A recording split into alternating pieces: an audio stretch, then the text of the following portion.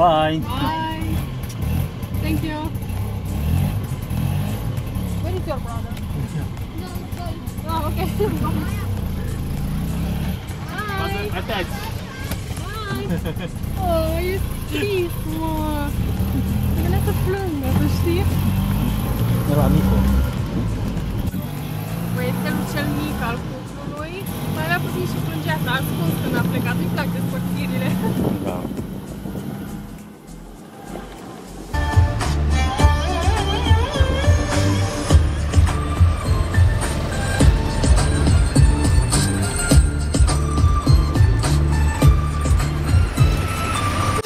Ce autobuze tunate au.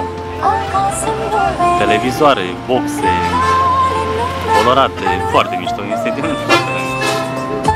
Dar pe cine am în față? Hei!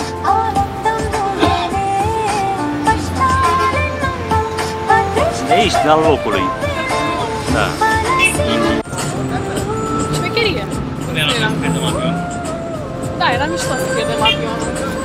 Doar că ne-am uitat, pentru că avionul nostru e la ora 1 AM. Da, e mâine noapte, n-are cum. E noaptea asta, pentru că după ora 12 e 3, nu e 2. Da, ne-am luat cazare în Candy, a trebuit să o anulăm, nu era cu o anulare gratuită, a avut că o plătim, că nu știu, așa cum vă spun că asta e peripeții. Da, e bine că am avut momentul ăla de luciditate și am dat seama că zburăm astăzi.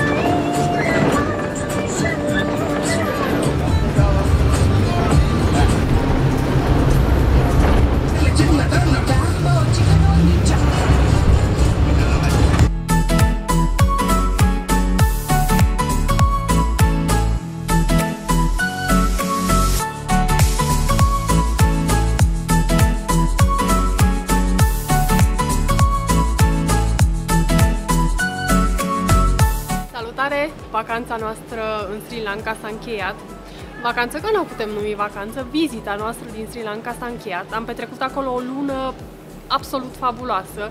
Sri Lanka a fost una dintre cele mai plăcute surprize ale anului sabatic și am tot spus asta peste tot. Uh, N-are rost să vă spun cât de minunată este această țară pentru că v-am arătat în imagini. În toate vlogurile noastre am arătat cât de frumoasă e Sri Lanka, ce peisaje minunate se află acolo, oameni absolut încântători. Totul este la superlativ, nici nu mai avem cuvinte să exprimăm recunoștința pe care o simțim gândindu-ne la luna petrecută în Sri Lanka. Iar astăzi tragem linie și vă prezentăm bugetul nostru. Aici nu suntem în Sri Lanka, suntem în altă țară, dar nu vă spunem unde, e surpriză. Să vedem dacă ghiciți, lăsați în comentarii. Unde se află Chiperia acum? Și nu o să ghiciți suma pe care noi am uh, cheltuit-o aici. Mi s-a părut o țară foarte accesibilă, mm, una dintre cele mai accesibile, mai ales pe zona de cazări și de mâncare. În schimb, uh, un pic costisitoare la obiectivele turistice. Intrarea la obiectivele turistice sare de 10-20 de dolari, 30 chiar de persoană, ceea ce e destul de mult pentru Sri Lanka și pentru o țară din sud-estul Asiei. Noi am petrecut o lună de zile, cum spuneam, în Sri Lanka și am cheltuit, atenție, tu aici bagi tobe, Ion, 1215 dolari, adică o medie zilnică de 40 de dolari.